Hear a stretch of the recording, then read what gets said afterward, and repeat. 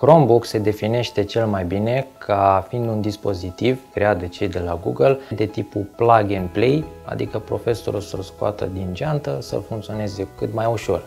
A fost conceput să se integreze perfect cu aplicațiile Google, însă nu numai. Pot fi folosite orice resurse care se găsesc în mediul web. Pentru educație, Chromebook reprezintă un dispozitiv care aduce inovație prin faptul că oferă noutate în procesul de a preda Folosirea Chromebook-urilor poate să aducă niște avantaje la clasă. Un prim avantaj ar fi acela că tehnologia devine un aliat și o cale de a atrage elevii. Pentru profesori, tranziția spre Chromebook este ușoară. De asemenea, și pentru elevi, tranziția este ușoară, având în vedere că ei de la vârste fragede folosesc tehnologia. Sunt robuste, tot ce se lucrează poate fi consultat și acasă, permit interactivitate nu numai elev-profesor, dar și elev-elev. Se pot folosi astfel resurse didactice din toată lumea. Ora se desfășoară mult mai ușor.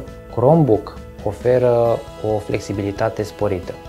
La clasă, profesorul poate să adapteze folosirea Chromebook-ului după necesitate. O soluție care permite extinderea folosirii tehnologiei în mai toate orele, chiar și cele care în mod tradițional sunt uh, ascunse de tehnologie. Școlile mai toate sunt dotate cu rețele wireless, asta înseamnă că poți să te întinzi cu aceste device-uri către orice parte a claselor. Am văzut cum se desfășoară o lecție la limba română de educație antreprenorială, științe, matematică, nu mai spun de informatică, el îți oferă această flexibilitate ca profesor.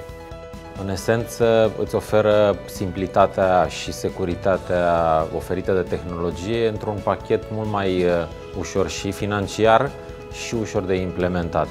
E ceva nou, ceva atractiv pentru elevi, cu siguranță vor fi atrași de către acest dispozitiv și vor veni de plăcere la, la școală.